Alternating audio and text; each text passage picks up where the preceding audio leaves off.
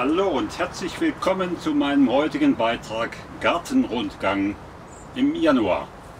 Jetzt haben wir mittlerweile Mitte Januar und äh, ja, ich habe mir einfach mal vorgenommen, äh, mit euch gemeinsam zu gucken, was ist denn noch an Essbaren im Garten? Was kann noch geerntet werden? Und was von dem bringen wir wie auf den Tisch? So, was macht ihr denn jetzt um diese Zeit noch im Garten? Beziehungsweise was könnt ihr noch im Garten ernten? Würde mich auch interessieren. Bitte gebt doch mal ein Feedback. Ich möchte einfach mal zeigen, wie weit ich bin. Also ich habe verschiedene Beete schon mal äh, Mist ausgebracht und äh, wir haben noch lange Zeit, bis wir draußen pflanzen können. Insofern hat der Mist auch noch reichlich Zeit ähm, zu vergehen. Und äh, ja, hier ist äh, meine Kartoffelmiete und die möchte ich heute auch mal leer machen, weil äh, ich brauche den Platz. Ja, also Kartoffeln bietet der Garten auf jeden Fall noch. Das haben wir ja schon jetzt gesehen, hatte ich eben gezeigt. Ja, da muss ich mal ein bisschen, damit ich nicht allzu viel der Hände schrubben muss, gehe ich jetzt mal hier mit Handschuhe rein. Bin ja nicht so der Handschuhtyp. Ähm, da zieht mir auch schon mal an den Finger, aber da hat man mehr Gefühl als mit so einem Überzieher. Ähm, also keine falschen Gedanken. So, dann holen wir die jetzt mal raus hier. Das ist ja einiges. Oh, herrlich, herrlich. Das ist noch ziemlich viel, was da drin liegt. Also. So, die Kiste ist leer. Und das Ergebnis könnt ihr hier sehen. Also, das ist noch ganz schön viel. Da sind so schätzungsweise 8, 9 Kilo. Und das ist wunderbar. Da kommen wir noch eine Weile mit hin. Wo ich jetzt hinpacke, das weiß ich noch nicht. Da muss ich mir gleich Gedanken machen. So, und das haben wir auch noch. Rote Beete. Wunderbar. Das können wir auch noch verarbeiten. Das ist nicht mehr viel, es eine rote und ein paar gelbe. So, dann gehen wir mal nebenan. Jetzt fängt er noch an zu regnen, aber das ist nicht schlimm.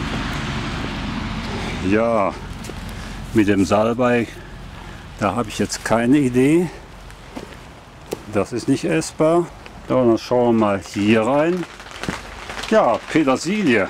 Petersilie, den muss auch verarbeitet werden noch. Da ist noch reichlich da. Ebenso auch auf der anderen Seite. Ist auch noch ein bisschen.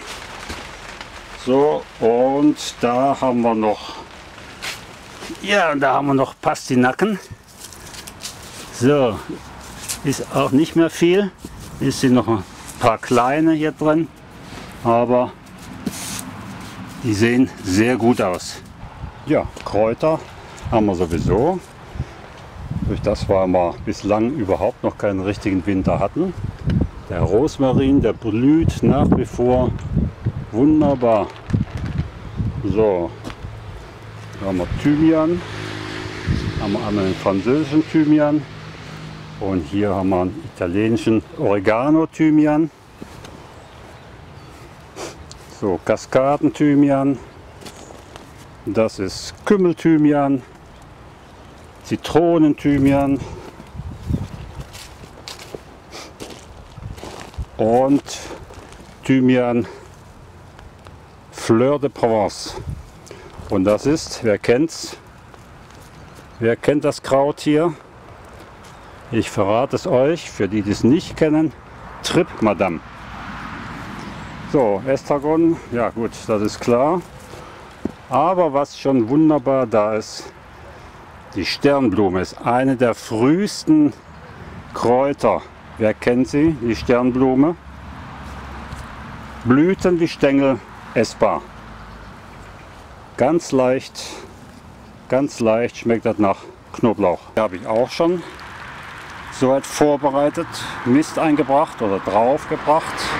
Einarbeiten tun wir ja später. Und auf der anderen Seite bin ich auch dabei. Wie gut, dass ich einen Mistlieferant habe, der immer so fleißig oder die immer so fleißig mir Mist bringt. Hier haben wir noch ein paar Kürbisse. So, also diese sind, äh, das sind die Golden Pumpkin, natürlich essbar. Ich mache keine Zierkürbisse, damit kann ich nichts anfangen. So, aber die sind so hart inzwischen, dass ich die nur noch nehmen kann als Suppentasse. Dann zu guter Letzt haben wir natürlich noch der Rapunzel. Rapunzel, lass dein Haar herunter, heißt es doch. So, einer der leckersten Salate für mich auf jeden Fall überhaupt. Ja, und äh, mich würde interessieren, was habt ihr noch im Garten stehen? Also was Essbares? Was könnt ihr noch auf den Tisch zaubern? Würde mich interessieren. Bitte gebt mir mal Feedback. Okay, bis dahin.